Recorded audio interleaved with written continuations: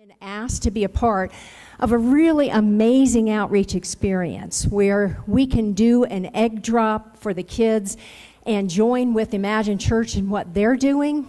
And we want you to have an opportunity to be a part of that. And we have some blue cards that are around you on in the seats and if the ushers could make sure that there's pencils given and that the blue cards are distributed, I would really greatly appreciate that. Ushers, so if you would bring those cards, if you would put your hand up, we'll make sure you get a card.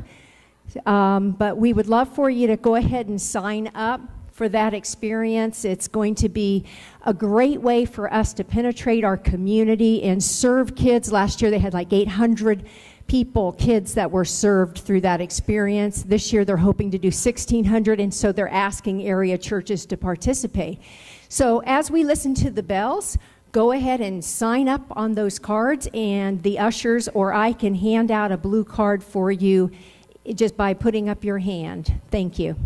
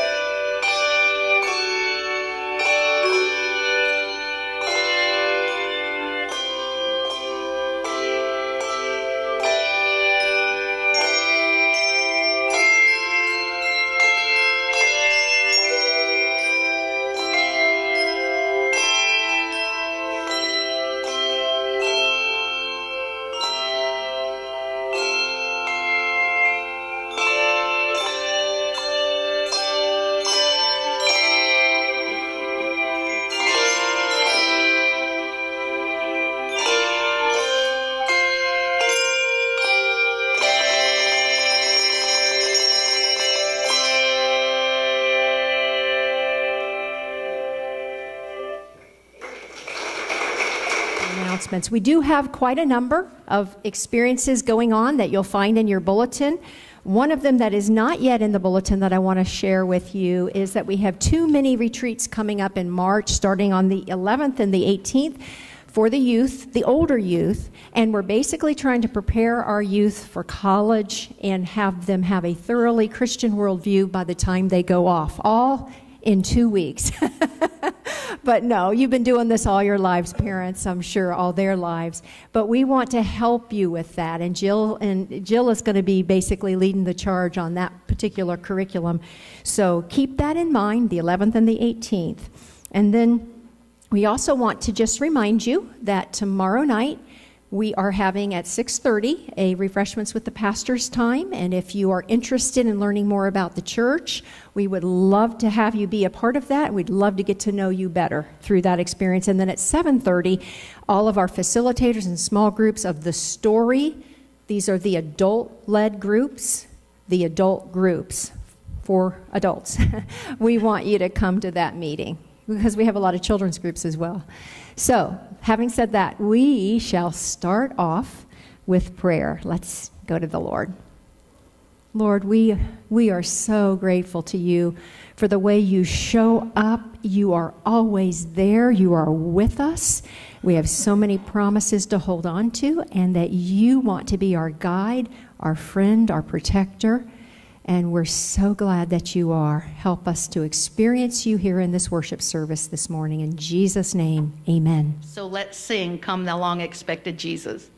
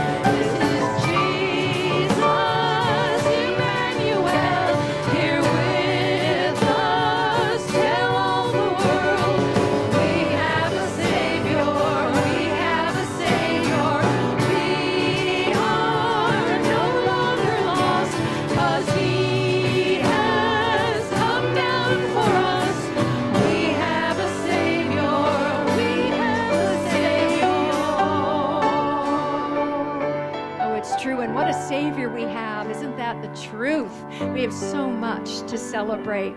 That Jesus, at just the right time, was sent into the world. He stepped down into the darkness so that he could be our light. And we can be the children of light, and we can celebrate that every Sunday, every day, Christmas or no. we can celebrate that great truth. Hallelujah. Let's worship Him.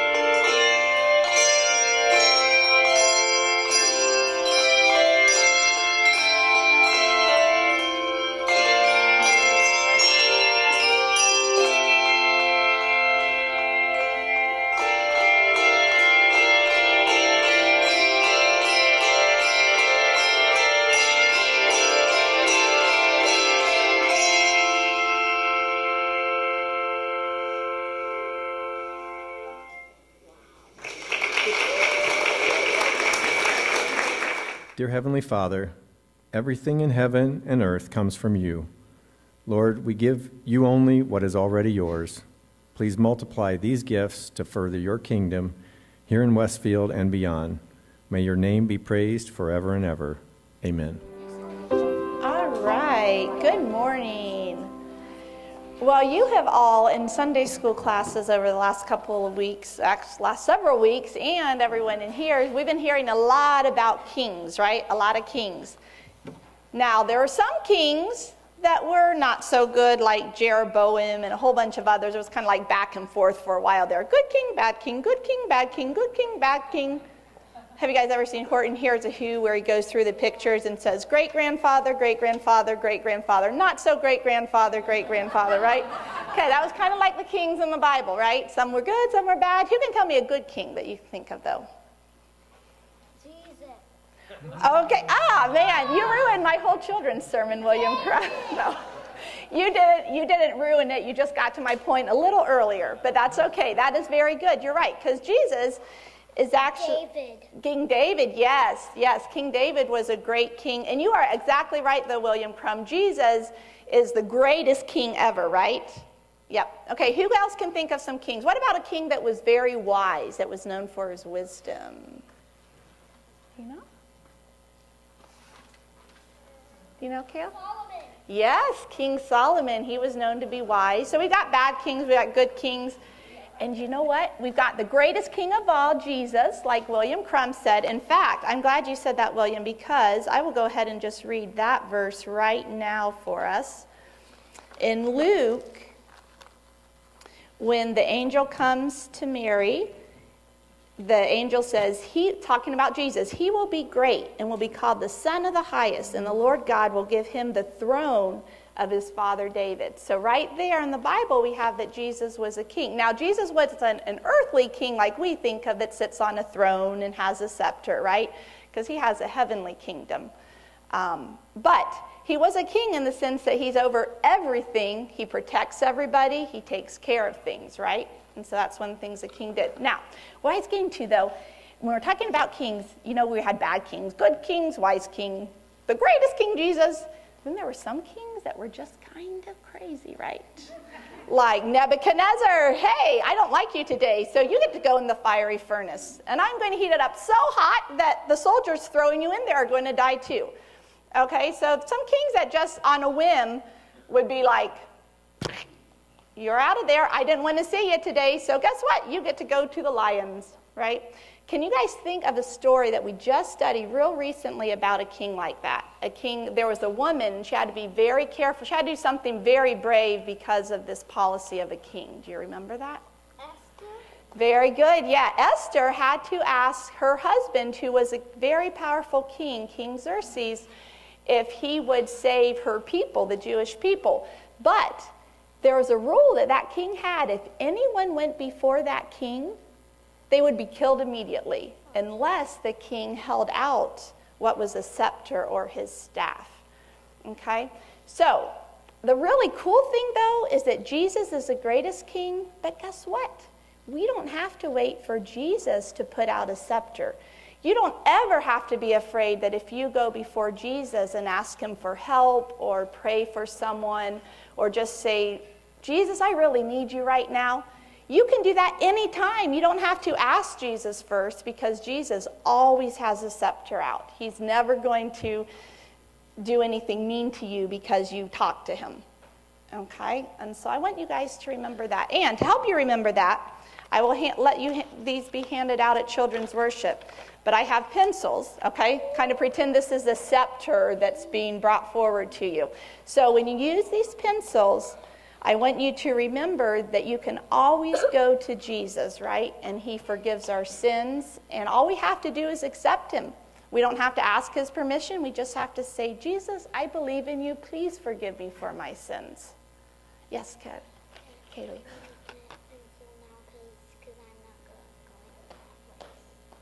Okay, I will give you one as we're walking back, okay? All right. Good question. Okay. All right, so if you guys will bow your heads now, we'll say a prayer, and then you can, we'll dismiss for Children's Church. Dear Lord, we thank you that you sent your Son to save us from our sins, to forgive us. We thank you that you are a loving God, and we don't have to ask permission before we come before you, that your throne of grace is always open and we can simply come and ask. And we thank you for your love. Help us to love others. Amen. Wanted to give you, uh, on behalf of the staff parish committee and our uh, ad board, wanted to give you a quick update on some staffing updates in our uh, in our church office. As you know, um, as you may or may not know, uh, Carla, our previous administrative assistant, resigned due to some health concerns and also some other priorities in her life of uh, also babysitting some of her grandkids. So uh, it really was an opportunity for us to kind of take uh, take step back and kind of look at our, our staff and every uh, everything that we have on our plate from a ministry standpoint. And I'm very pleased to announce uh, on behalf of the staff parish that uh, Peggy Fulton and Tony Dickover are going to be uh, kind of a tag team on our administrative position. Um, Peggy will be in the office Monday and Wednesday. Tony on Tuesday, and uh, Tony's going to be doing a double duty. She also serves as our financial secretary as well. And also, I'd like to highlight many volunteers that also uh, come into the office to uh, fold bulletins, to do inserts, anything that uh, we feel that needs to be done. So, I know Agatha has been very active in the in the office. Any other volunteers that I don't want to miss anybody? So, what's that? And others? yes, so I apologize. I, I don't want to miss anyone, but uh, definitely between Peggy and Tony and our, our many volunteers, uh, they keep our office running well.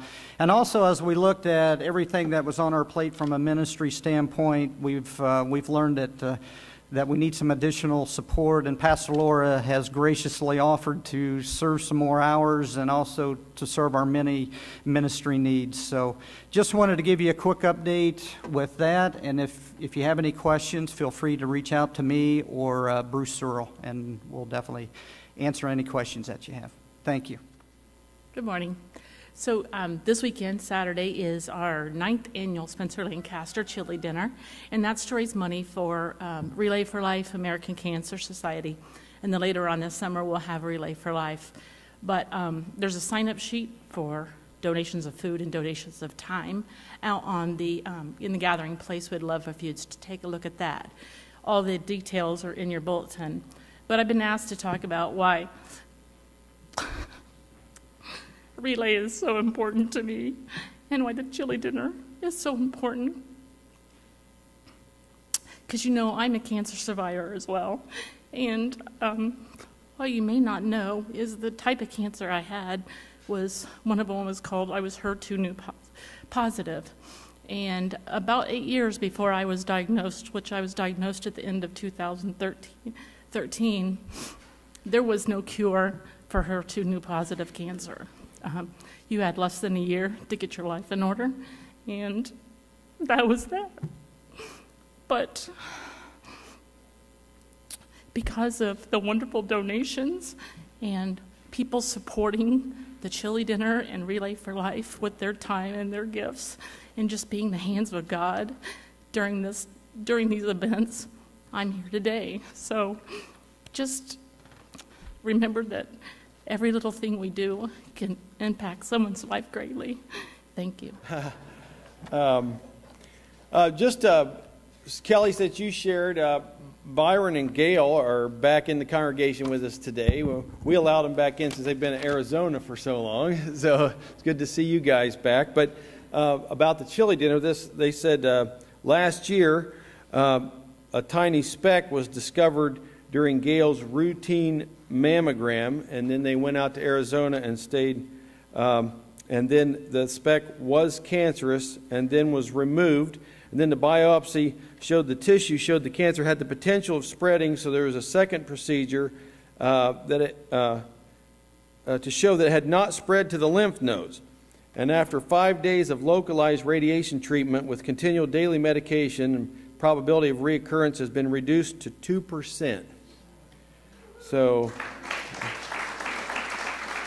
So anyway, they said that it was God's will that we were directed to a skilled and caring surgeons, oncologists, radiations, technician, and support staff that allowed us to get over this bump in the road, and they wanted to share about her healing today. So, hey, good to see you back, and uh, thank God for your healing. And you know, these other people are on the healing team too. You know, the doctors and the nurses and the radiation people and the technicians. And we need to give uh, thanks to God for that as well. So um, uh, let's go to the Lord in prayer. Dear Heavenly Father, who on the first day of the week created light out of darkness, we thank you that you brought us to see the light of another day and that you've blessed us with the ability to come to your house and worship today, to hear your word. So clear the darkness of sin from our hearts and enlighten our understanding and quicken our spirits and create in us a spirit to praise you and to worship you. And may your name and your light shine before all people through us. And blessed Savior, who on the first day of the week rose from the grave as our Redeemer from sin, help us with repentant faith to accept your forgiveness and to rise daily from sin to serve you in newness of life. And Holy Spirit, who on the first day of the week descended on your church with blessing and power, bless us with your spiritual healing today. And give us strength to speak of the things that we have seen and heard. Holy, blessed, and glorious Trinity, grant us uh, the ability to hear your word, and may it be preached and taught with power, and preserve us as hearers from distracting thoughts and cares. Enable us with open mind and ready heart to receive your truth and to order our lives according to your word and will for Jesus' sake. Be with all those on our healing prayer list today. Be with Pat Prosser's son who went through surgery. And we pray now the prayer you taught your disciples to pray Our Father, who art in heaven, hallowed be thy name. Thy kingdom come, thy will be done, on earth as it is in heaven. Give us this day our daily bread, and forgive us our sins as we forgive those who sin against us. And lead us not into temptation, but deliver us from evil. For thine is the kingdom, and the power, and the glory forever. Amen.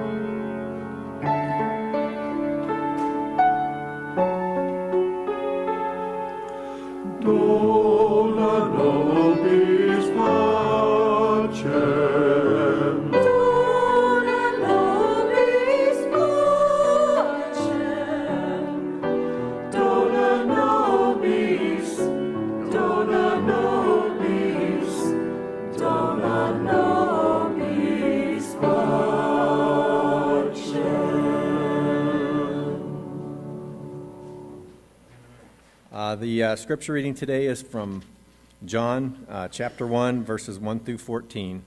And if you're able, would you please rise? In the beginning was the Word, and the Word was with God, and the Word was God. He was with God in the beginning. Through him all things were made. Without him nothing was made that has been made. In him was life, and that life was the light of man. The light shines in the darkness, but the darkness has not understood it. There came a man who was sent from God. His name was John. He came as a witness to testify concerning that light, so that through him all men might believe. He himself was not the light, he came only as a witness to the light. The true light that gives light to every man was coming into the world. He was in the world, and though the world was made through him, the world did not recognize him. He came to that which was which was his own, but his own did not receive him. Yet to all who received him, to those who believed in his name, he gave the right to become children of God. Children born not of natural descent, nor of human decision or a husband's will, but born of God. The Word became flesh and made his dwelling among us. We have seen his glory, the glory of the one and only, who came from the Father, full of grace and truth. May the Lord add his blessing to the reading of his word. You may be seated. Well, how many of you, when you were kids, uh, were so excited on Christmas Eve that you couldn't even hardly stand it? You couldn't even hardly get to sleep at night because Christmas was the next day. And I, I, I was like that. When I got older, I kind of got over that. And, uh, but then we started having a, uh, midnight worship services on Christmas Eve, and that was great. Except now I got kids that want to wake me up at six in the morning because we got to get out here and get the presents, you know. And one of the salient features of the Old Testament is its growing expectation of the coming Messiah.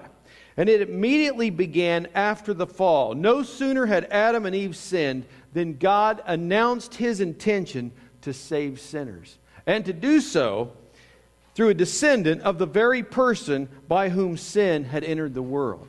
Now, when did the plan of salvation begin? Well, in the beginning was the Word, and the Word was with God, and the Word was God. It's from the foundation of the world. But we first see it prophesied in the Old Testament. In, in Genesis 3.15 is the first prophecy of a coming Messiah. Genesis 3.15. If we can bring that up. Um, uh, you want to read that with me? And I will put enmity between you and the woman, and between your offspring and hers. He will crush your head, and you will strike his heel. And what we see here is the head of the serpent, the enemy, the devil, is going to be crushed, that is, destroyed by the coming Savior, the Messiah, Jesus Christ. And at the, at the time, the victor will not altogether escape injury because he will suffer bruising to the heel. So, the promise to Eve that one of her descendants would ultimately crush the serpent's head is often and rightly called the proto evangelium. That's a big word. It means the first proclamation of the gospel. And uh, it was, of course, fulfilled on the cross, for it was there that the devil disarmed and overthrew uh, the devil, was overthrown, but at cost to the Messiah's suffering. And so we have peace with God through our Lord Jesus Christ and his suffering on the cross. But God's peace allows no appeasement of the devil. Indeed, it's only through the destruction of evil that peace can be attained. So, from then on, the promises of the Messiah from the Old Testament, they get interesting because that the Messiah would be of the seed of the woman. Everybody else, seed of the man. Be the seed of the woman. And would be a descendant of Abraham. Through you, all the nations of the earth will be blessed. That he would be a king like David. That he would be a prophet like Moses, a king like David, a priest like Melchizedek. That he would be, uh, like John Calvin said, the three offices he would have are prophet, priest, and king. He speaks God's word. He intercedes for us before God, and he is sovereign ruler. And then he would be the servant of the Lord the Son of God, the Son of Man, the Son of God. And then we come now to the culmination of the Old Testament, The prophets have been talking about it for years and years, namely the Nativity, the birth of Jesus the Messiah. And it's told especially by Matthew and Luke. And in these early gospel accounts, we're struck by they're steeped in Old Testament language and culture. They're also accompanied by the miraculous. And we don't need to be embarrassed by this. It's surely fitting that a supernatural person would come into the world in a supernatural way. And so, if we believe in the incarnation, it is logical also to believe in the virgin conception and the virgin birth. Now, uh, we start out with Luke 1 26 and 27. And uh, says this In the sixth month, want to read that with me? In the sixth month, God sent the angel Gabriel to Nazareth, a town in Galilee, and of, to a virgin pledged to be married to a man named Joseph, a descendant of David. The virgin's name was Mary. Uh, and so, after 400 years of silence, the close of the Old Testament, there's 400 years of silence. But God breaks the silence, but not through a prophet, but through an angel.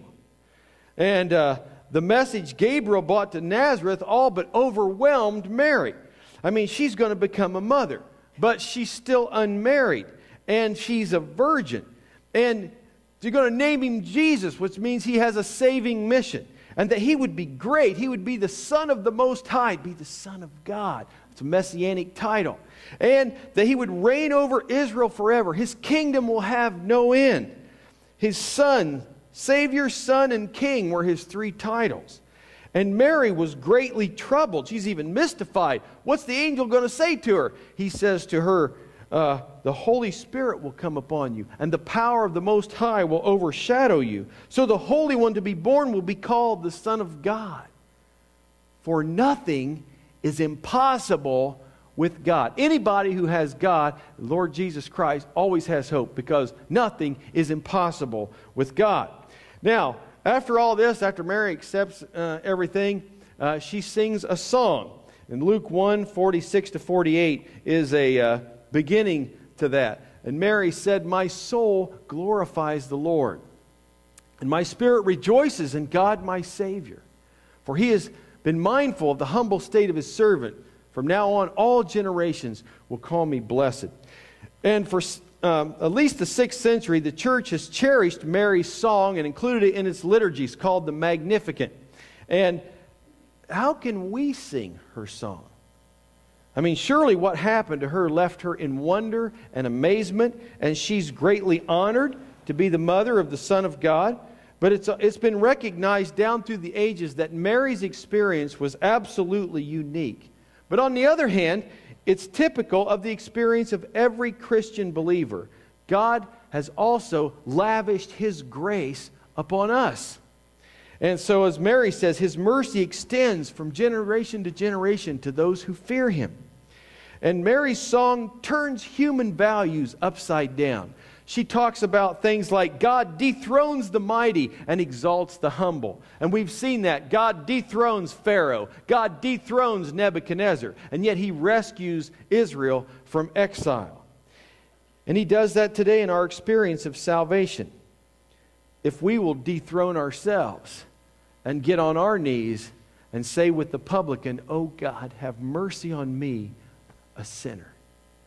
And when we do that, God accepts us in his grace. But if we're going to be on the throne, said I'm a, I'm a really good person, who's God think? You know, today I was reading about people, back in the old days, people used to think for natural disasters, they needed to fast and repent and get right before God. Today, today people think God's not doing a very good job of handling natural disasters.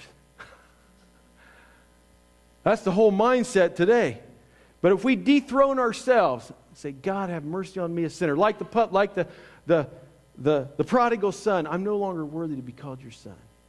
Just make me a servant. He says, Nothing doing. I'm putting the ring back on your finger. I'm putting the shoes on your feet. I'm putting the robe on you. And totally restores us. It's amazing. And God dismisses the rich and feeds the hungry. Mary was hungry. She knew from the Old Testament that one day God was going to bring his kingdom, and she was hungry for that kingdom. And hunger is still an indispensable condition of spiritual blessing. And self satisfaction and complacency is its greatest enemy. So Mary was humble and she was also hungry. Maybe we need to be that way as well. Well, here's the big miracle, the virgin conception. Luke 135, the virgin birth. Want to read that with me? The angel answered, The Holy Spirit will come upon you, and the power of the Most High will overshadow you, so the Holy One to be born will be called the Son of God. Now, the virgin birth is a misleading expression, suggesting there was something unusual about Jesus' birth. But Jesus' birth was entirely normal and natural, it was his conception that was indeed supernatural for he was conceived by the operation of the Holy Spirit, without the cooperation of a human father. Now, Matthew and Luke make unambiguous affirmation that Jesus was born of the Virgin Mary. And, and uh, the two evangelists record both say he was born of the Virgin. And we move on from the historicity of the virgin birth to its significance. Does it matter? It does. The angel's annunciation was in two stages. The first stressed the continuity with Mary's child would enjoy with the past. Because she would bear him, he would inherit the throne of his father David. And he would inherit from his mother both his humanity and his right to the messianic title and the messianic kingdom. The second stressed the discontinuity between the child and the past because the Holy Spirit would come upon Mary and God's creative power would overshadow her so that her child would be unique, sinless, the Holy One, the Son of God. And in this way, what was announced to the Virgin Mary was her son's humanity and messiahship derived from her while his sinlessness and deity would be derived from the Holy Spirit. And as a result of the virgin conception, the virgin birth, Jesus Christ was simultaneously Mary's son and God's son, human and divine, the Son of Man, the Son of God. And then we see Mary's submission, Luke 138. Uh, Want to read that with me? I'm the Lord's servant, Mary answered. May it be to me as you have said. And then the angel left her. Now it's interesting, the fact about the birth of Jesus is that it occurred out of wedlock. Now there were all kind of rumors, what's going on with Mary? Yeah, what about Mary and Joseph? Remember, even Joseph had to have an angelic visitation to convince him to marry her that this was from the Holy Spirit. So these rumors persisted throughout Jesus' life and even beyond his death. And uh, one time Jesus was in a disagreement with the Pharisees who were, you know, and Jesus said, they were saying, We're Abraham's children. He said, Abraham, we're not your father, but you're of your father, the devil, because you do the stuff the devil does. Well, you know what they came back with? They came back with, with this retort We were not illegitimate children, we were not born of fornication. You couldn't have said anything to insult Jesus more than to say that. But the interesting thing about as distasteful as these uh, rumors were and the gossip, it's corroborative evidence of the virgin birth. Mary's response to the angelic announcement wins our immediate admiration. I'm the Lord's servant. May it be to me as you have said. And so she expresses her total willingness to be the virgin mother of the Son of God. In one sense, it was an amazing privilege. The mighty one has done great things for me. But it was also an awesome and costly responsibility. It involved a readiness to become pregnant before she was married and to expose herself to shame and suffering and all the kind of names that people would call her, not believing what happened to her. To me, the humility and courage of Mary in submitting to the virgin conception and virgin birth is, is really amazing. She surrendered her reputation to God and His will. And for us, too, what matters that we allow God to be God and to do things His way, even if it means that uh, we risk losing our good name, like Mary may have. And then, well, eventually, time for the baby to be born. Luke 2 7. Luke 2 7. Want to read that with me? And she gave birth to her firstborn, a son. And she wrapped him in clothes and placed him in a manger because there was no room for them in the inn. Now, interesting thing in the providence of God. Caesar Augustus goes, I need more money. Instead of cutting taxes, what are we going to do? we're going to raise taxes. So he goes, uh, take a census, and now he makes all these people do all these uncomfortable things, like go back to the, the place where their ancestors were to register. But it causes Mary and Joseph to take a journey from Nazareth all the way down to Bethlehem. I'm sure, the, I'm sure her obstetrician wasn't too hot on that. You know, you got to go from there pretty, you know, uh, pregnant and everything. And, and, uh, but it was the fulfillment of prophecy in the Old Testament. Micah 5 2 says that he would be born in Bethlehem. So Caesar was used by God, even though he didn't know it. And then they're probably, oh, finally, we've arrived in Bethlehem at this long journey. Guess what? The town's overcrowded. There's no room for them at the end. I got called the other day. My cousin, my nephews were playing basketball over at the Grand Park. Hey, there's no room in the parking over there either. Have you ever been over there during those days? Bad planning. so, I mean, you can't believe all these cars over there for uh, all this stuff. But anyway, um, I'm sure they're doing well. But uh, anyway, um, lost my place. Um, so the innkeeper, he can't find a place for him. So the only place they can find is a stable. And Mary, when Mary's baby's born, she lays him in a manger, which is a feeding trough for animals. And it's symbolic of the rejection that later Jesus would experience. And so the emperor's edict brought Joseph and Mary to Bethlehem in the fulfillment of prophecy, and the innkeeper, by reason of overcrowding in the town, ensured that the Savior of the world was born appropriately, not in a palace, but in a stable, not in splendor, but in obscurity and poverty. And surely Jesus can identify with the whole human race. And then we have the shepherds. Luke 2 8 to 11. Uh, remember this? And there were shepherds living out in the fields nearby, keeping watch over their flocks at night. And an angel of the Lord appeared to them, and the glory of the Lord shone around them, and they were terrified. Whenever angel shows up, people get scared. Uh, but the angel said to them, Do not be afraid. I bring you good news of great joy that will be for all the people. So, the shepherds were the, they were the have-nots, and they were, you know, not well educated you know, and, um, and uh, but they were the first ones that the angels appeared to to give the good news. So what they do?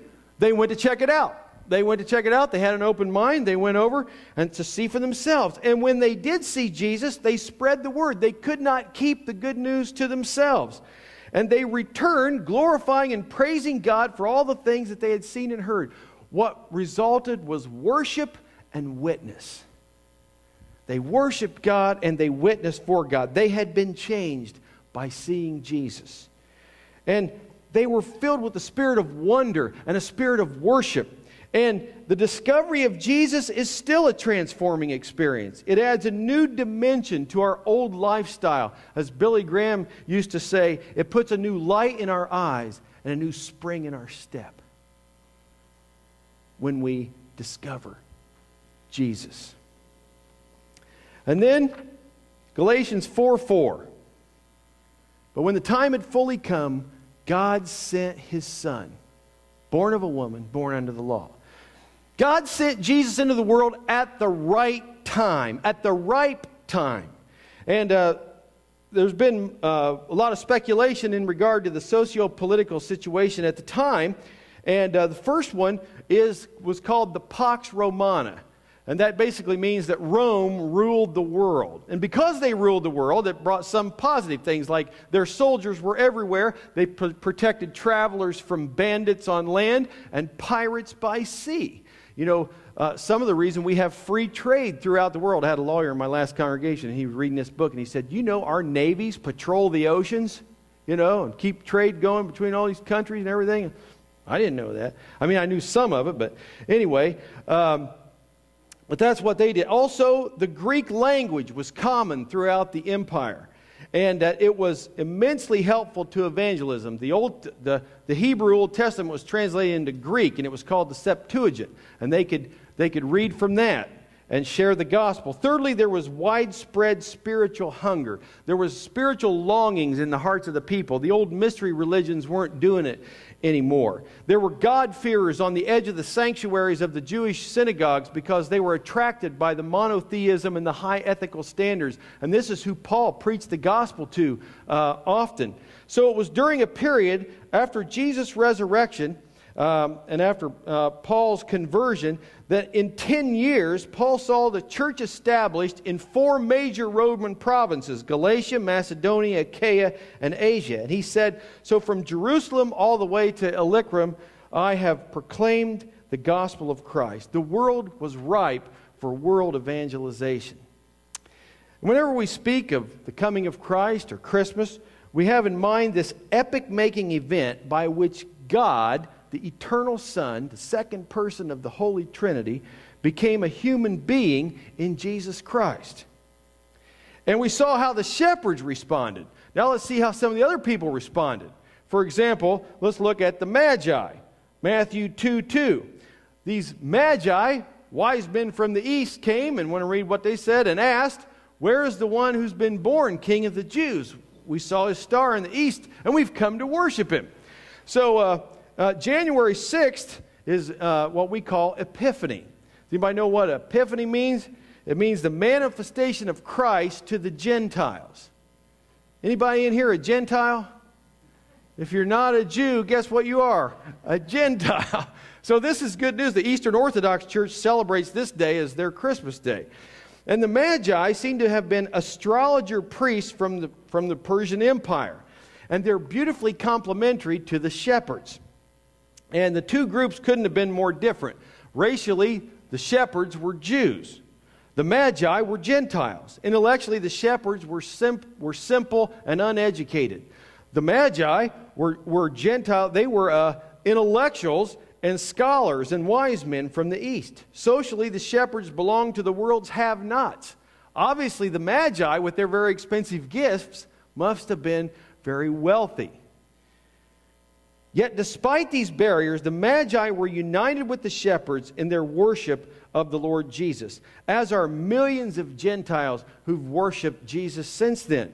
You see, as we look at other religions of the world, almost all of them are evident that other religions are ethnic and limited to a particular people and culture, while Christianity is not. Nearly 80% of the world's Christians today are non white and non Western. Uh, Christianity is emphatically not a white man's religion.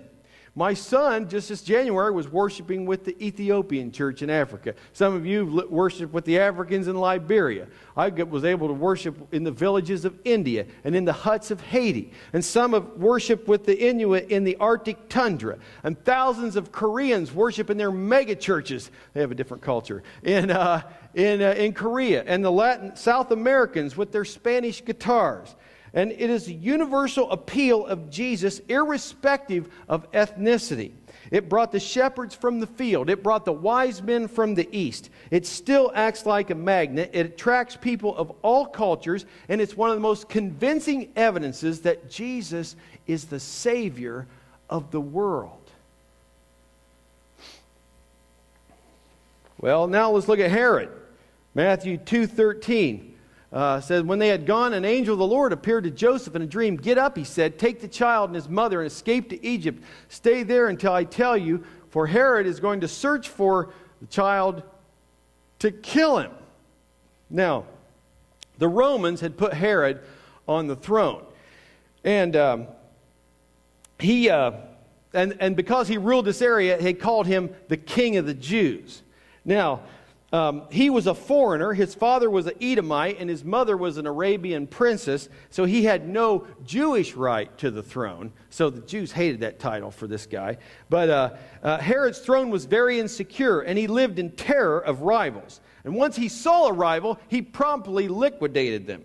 He killed his wife, he killed his mother, Alexandra, he killed his three sons and he killed more than half the members of the Sanhedrin, many uncles, cousins, and relatives. It's not surprising that the Jewish historian Josephus, called him a pitiless monster.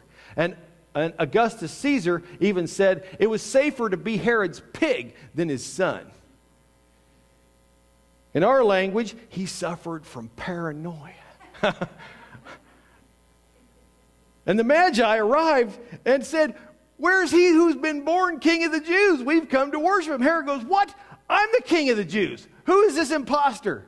And so he's going to go try to kill uh, the lad and killed many uh, children uh, in trying to do that. And so an angel appeared to Joseph in a dream Get up, take the child and his mother to Egypt. And so uh, there's something very touching about the Son of God becoming a refugee baby and identifying himself with the dispossessed people of the world. And Matthew detects something else. He sees the flight into Egypt as a fulfillment of Scripture. It says, So was fulfilled what the Lord said through the prophet Hosea, Out of Egypt I have called my son. And Matthew sees in the story of Jesus a recapitulation of the history of Israel. You see, as Israel was oppressed in Egypt under the despotic ruler Pharaoh, so Jesus was, became a refugee in Egypt under the despotic rule of Herod. As Israel passed through the waters of the Red Sea, so Jesus passes through the waters of John's baptism in the Jordan River.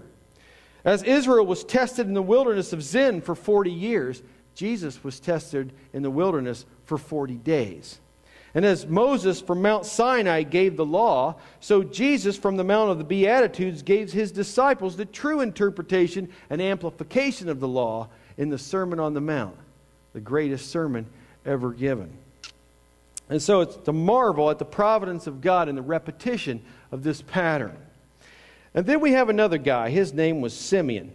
Uh, Luke 2, verse uh, 30 and 32. For my eyes have seen your salvation, and a light for revelation to the Gentiles, and for the glory of your people, Israel. A godly old man named Simeon, he was eagerly awaiting for the Messiah. The Holy Spirit had told him, You won't die until you see the Messiah. So he goes to the temple. He just happens to go to the temple one day, right at the time Joseph and Mary bring in their eight day old boy. And this is a, Simeon had the spiritual discernment to recognize Jesus. And he held him up and said, You can let me die now, Lord, for my eyes have seen your salvation. And we're not ready to die until we too can take Jesus and say, My eyes have seen your salvation.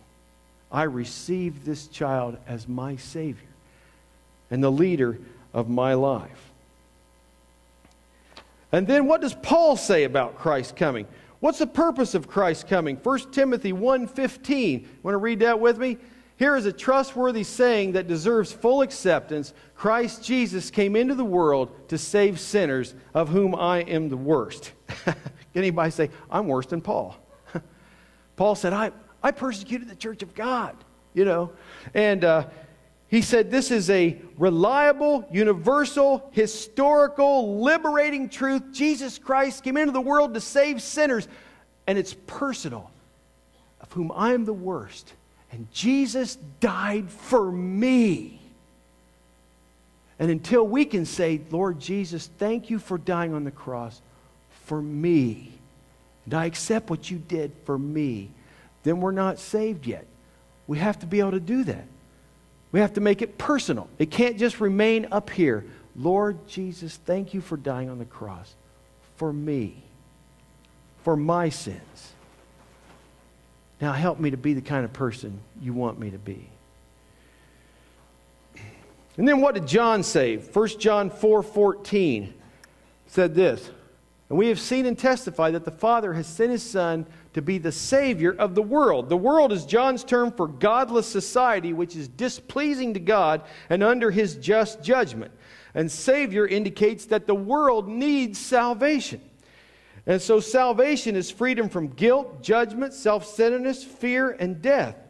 And the Son is the Savior we need because he's both God and man whose birth we celebrate at Christmas and whose death is the only ground on which God can forgive our sins today. And this is what he said God sent his Son as an atoning sacrifice for our sins. So the Father took the initiative in his great love in giving us his Son. And in giving us his Son, he gave us himself. And then 1 John 3 5. Want to read that with me? But you know that he appeared so that he might take away our sins, and in him is no sin. So, what will motivate us to forsake sin and to pursue righteousness? John is clear. He says it's to remember the purpose of Christ's appearing. That you know he appeared so that he might take away our sins. And he goes on to say the reason the Son of God appeared was to destroy the devil's work. So, our response to Christ's coming is to live a life that's fully compatible with the reason he appeared on earth to take away our sins. And then um, we come to the infancy of Jesus. Luke 2:22 But when the time of their purification according to the law of Moses had been completed Joseph and Mary took him to Jerusalem to present him to the Lord. And uh, Jesus was anybody know how old Jesus was when he was circumcised? Eight days, on the eighth day, that's right. Do you know the clotting mechanism in the body begins at eight, eight days? I guess that's a good thing. Uh, so he was, uh, he was named uh, in, in, the blood. Okay, so anyway, uh, Jesus means God is Savior, and Jesus was presented to the Lord in the temple in Jerusalem. And so he was circumcised, he was named, and he was presented. And all these have to do with his mission. His circumcision portrayed him as a son of Abraham and a true member of the covenant community of God. And then his name proclaimed means he's the heaven sent Savior of sinners. And then his presentation to God means that he was devoted to God's service and he's ready to do his will. And then we come to the boy in the temple. And um, Luke 2.49. Luke 2.49. Want to read that with me? Why were you searching for me, he asked. Didn't you know I had to be in my father's house? Now, how would you feel? You've been looking for your kid for three days. Where have you been? Didn't you know I had to be in my father's? Get in the car. yeah. Um, now, this is the only incident we know about in Jesus' boyhood, and it's highly significant of how he got lost in the temple. They, they had to come down for these festivals, and um, maybe it's a several day journey by caravan. They're probably coming with family and neighbors and friends, and they go down for the Passover. Now they're going back home. Mary thinks he's with Jesus. I mean, Joseph thinks he's with Mary. Mary thinks he's with Joseph. When they, when they get so far down the road, where's Jesus? I thought he was with you. Where's Jesus? I thought he was with you. And then Mary and Joseph had to go to marriage counseling. and I, I, I, happen to know that that's probably what happened. And, uh, uh, and um, so they have to make the trek back, and they find Jesus in the temple. He's sitting among the teachers, listening to them and asking them questions. And his hearers were amazed at his understanding, and they were astonished. And the verbs used that when people were in Jesus' presence, they felt a sense of awe, even at age 12. He's going to be bar mitzvah the next year. That means that he's, he's fully regarded as an adult to be responsible before God. Now, especially striking is the first word spoken by the Messiah. And notice he says, first he says, he calls God his father and the temple his father's house. And he corrects his mother. How many 12 year olds correct their mother? Probably a lot. But anyway, anyway, he corrects his mother and he said, and he, and, uh, he said, Your father and I have been anxiously searching for you. But Jesus already is conscious of a special relationship with God the Father. And so, secondly, Jesus expressed his compulsion. Didn't you know I had to be in my Father's house? So he's aware of his mission as revealed in Scripture, and the Scriptures must be fulfilled. And then a couple um, uh, things here um, before we end. Um, remember, we said we had to we have to take Jesus into our own hearts. Now I got to tell you this. Uh, this is weird, but uh, yesterday uh, I had an opportunity to take a free yoga class, so I did. you know, and, uh, and, and, and, now I'm a little bit leery yoga because it kind of comes out of, of Hindu practice. And uh, if it's stretching exercises and exercises, that's okay. But if you get into some of the weird spiritual stuff, you got to be careful. But um, the lady asked me after the class what I thought of it. I said, well, I said, very relaxing music, very unrelaxing position. And I mean, I, my, my hamstrings are pretty, pretty uh, loose because I used to run the hurdles, but I, I cannot do this stuff, you know. And standing on one foot's hard too. But anyway, we got the end of the session, and she's saying stuff like, um, you know, now focus in. It's okay to calm your mind down and everything, but she said, now there's this door. There's this door. And I encourage you to open that door. And I'm going, you better be careful who you open that door to. Because there is a door to our heart. And Jesus said, I Behold, I stand at the door and knock. If anyone hear my voice and open the door, I will come in and sup with him and he with me. See, there are other spirits we don't want to open that door to. The scripture says, guard your heart, for from it flow the springs of life. And so when you invite Christ into your heart, you got a new spring. You have a new spring there, you know. So I invite you as we learn about Jesus today for you to open that door for him to come in. Because he won't bash the door down, but he will come in if you invite him in. He's a gentleman he won't bash the door down. Like the old painting, Jesus standing outside. There's no, there's no handle on the outside. It has to be open from within.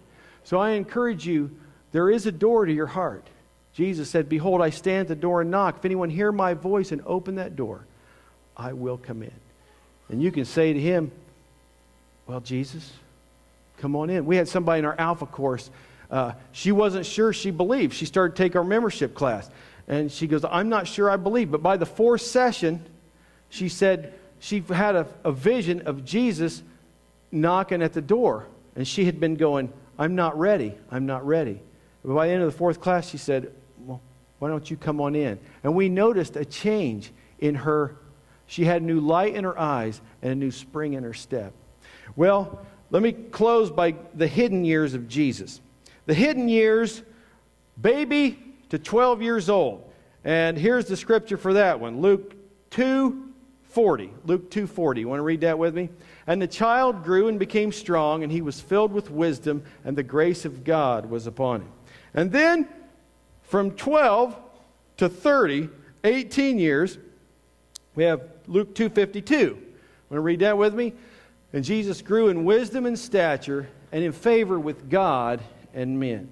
So here is Jesus growing physically, mentally, spiritually, socially. And um, his body developed naturally. His mind expanded as he learned his lessons at home and at school. He grew in grace and became ever more pleasing to God and his neighbor. And the people raised this objection if Jesus grew in these areas, doesn't that mean that he was imperfect?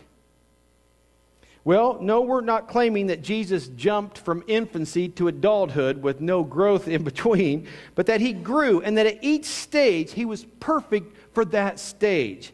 For example, to say that he grew in favor with God doesn't mean that he was previously out of favor with God, but that at each stage he pleased God in accordance with his age. And so to insist on this growth is to guarantee the authentic humanness of Jesus, the Son of Man, the Son of God. And I would invite you to invite the Son of Man and the Son of God through that door of your heart. Let's pray together. Lord, as we learn about your coming, we know this was from the foundation of the world. And yet, at the right time, you sent your Son into the world. And so we thank you that you have made a door to our heart. And, and today we want to ask you, Lord Jesus, you, you come through that door. And you, um, you uh, reign supreme in our heart and life, and in our church, we pray. And we pray that we would honor you as the Son of Man, the Son of God. Through Christ we pray. Amen.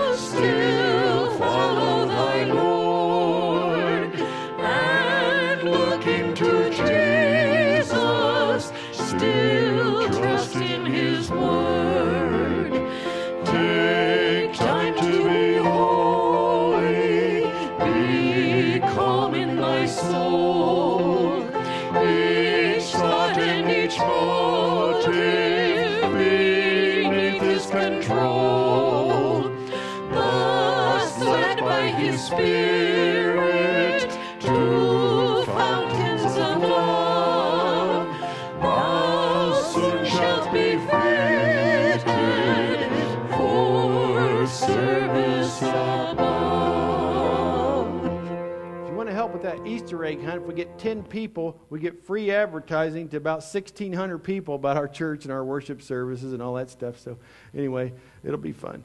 Uh, go now in the grace, mercy, and love of the Father, the sacrificial death of the Son, and the cleansing and empowerment of the Holy Spirit. Amen. Amen.